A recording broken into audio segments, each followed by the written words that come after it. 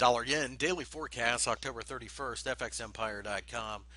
The dollar Japanese yen pair rose during the session on Wednesday again for the third day in a row, and this just caps up a nice move higher.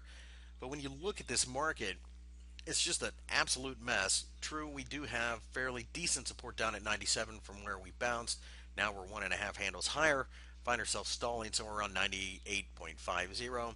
Do not expect much of a move above here. If we do 99 yen to the dollar will be resistance. Uh, and of course, the parity level up at 100 uh, would be even more so. If we can get above the 99 level, though, we do think that this market takes off to the upside, at least for the short term. And we think ultimately it will go higher because the Bank of Japan is working so feverishly against the value of the yen by purchasing Japanese uh, JGBs, driving down the interest rates, which of course drives down the demand for the currency itself. Also, uh, they are stepping into the Nikkei and supporting the market through ETFs, uh, buying and even discussing the possibility of buying actual exporting stocks in order to keep the markets afloat. The Japanese are absolutely flooding the markets with liquidity and yen, and that tends to drive down the supply and demand question as well. Going forward, we think this market eventually breaks above 100, but there is such a mess between here and there. This is a short term trader's market at best right now.